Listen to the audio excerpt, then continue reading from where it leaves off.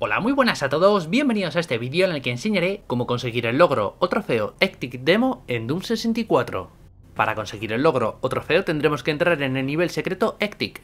Lo que haremos será iniciar el primer nivel de la campaña en cualquier dificultad y destruir los 10 barriles que hay en este nivel en el mismo orden que enseño. Al hacerlo se abrirá un pasadizo secreto en el que hay un portal que nos llevará al nivel secreto Ectic.